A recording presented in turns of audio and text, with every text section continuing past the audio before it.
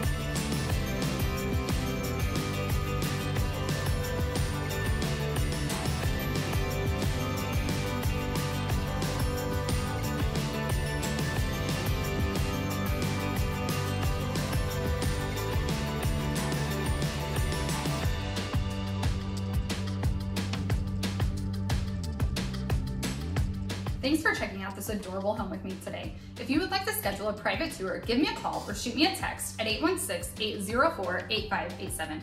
And remember, if you are thinking about selling in the Kearney School District and want to put more money in your pocket with the number one marketing plan in all of Kearney, give me a shout today. See you next time.